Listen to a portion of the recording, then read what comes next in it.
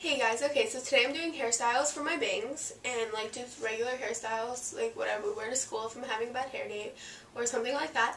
So here we go. Okay, so first I'm going to be doing a snake braid for your bangs.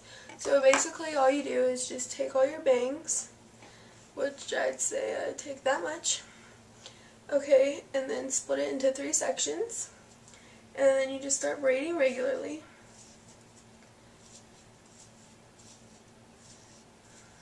Like that.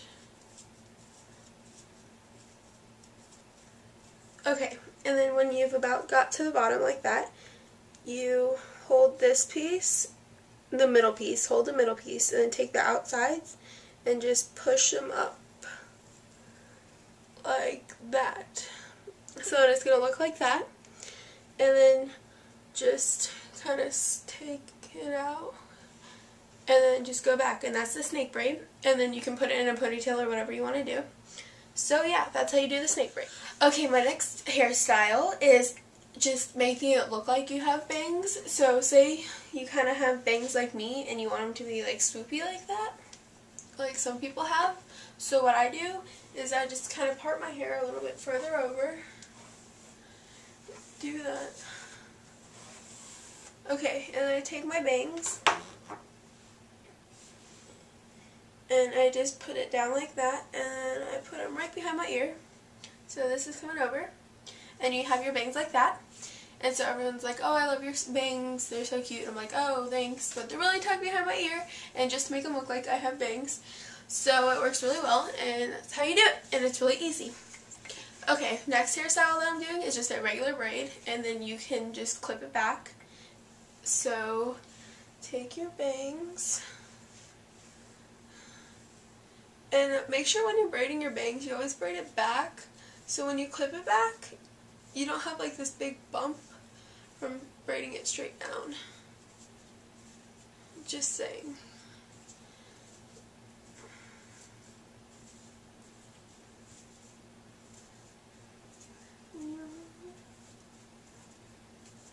Okay, so you have the braid, and then just take this one and kind of just drape it behind your head, and then take a bobby pin and clip it back. You're probably going to need more than one bobby pin.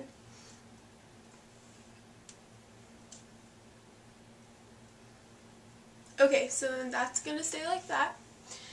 And then you can also go from this side and just kind of take it right around here, I'd say. And then just start regular braiding.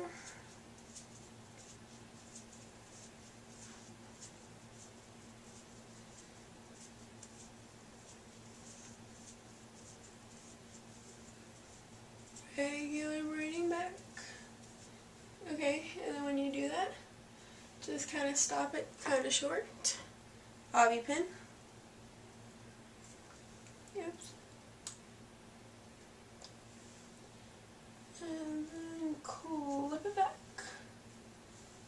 So this is your hairstyle. You have a braid coming from here and a braid coming from there. And it works out really well. Okay, so next I'm going to be French braiding. And because I play softball and volleyball, this works out really well. So I can just put it into my ponytail in the back and I'll show you that and then I'll just show you regular French braiding. So I think I'm going to do the regular one first and then I'll put it into a ponytail. So what I do is I just slide my finger through the top of my hair so I can get the top like that and just have this little piece. Okay, and then break it into three sections like that and start your regular braid. Okay, so you're going to have it started and I just drop one piece and pick up hair where it should be and just keep on braiding. Okay, and then drop a piece, pick it up, braid, drop piece, pick it up, braid. Um, my hair stuck, drop piece, pick it up, braid, drop, braid, And just keep on going on and on and on. Okay, and then when you're done with that, you can just braid regular. Down. Like that. And then just use another bobby pin. Bobby pin. If I can get it open. And just clip it back. This bobby pin does not work at all.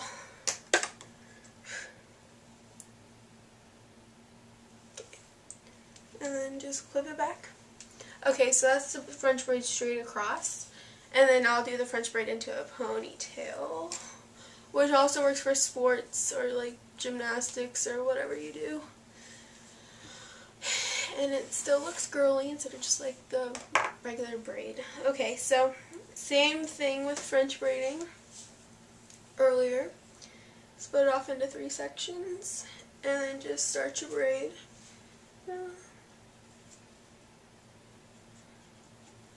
Like that.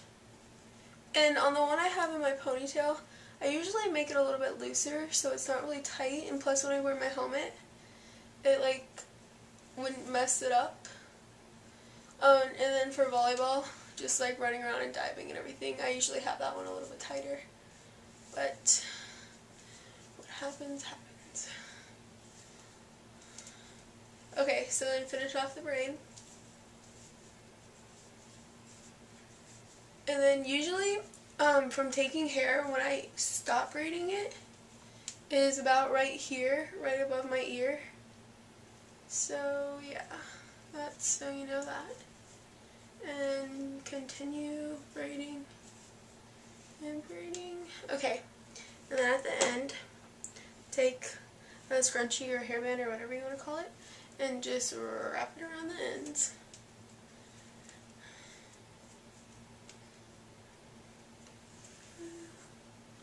Okay, so then I know I have layers, but I can just always bobby pin that back. Okay, so then put your hair into a ponytail. Okay, and I usually leave that down first. And always put my other hair up first. Okay, so get your ponytail.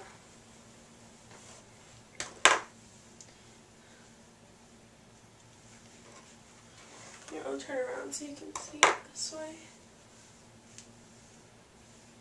Okay, so I'm turned around. Oh, let me fix this one piece right here.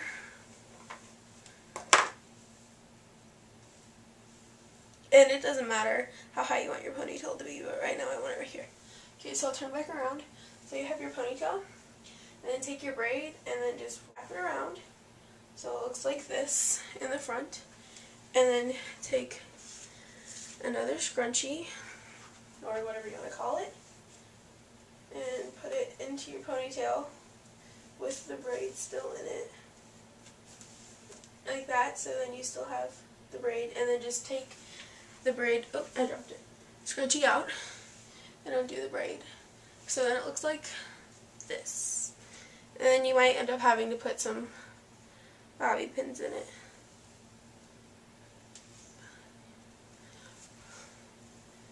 Okay, so then it looks like that, and it's right in your ponytail. So, yeah.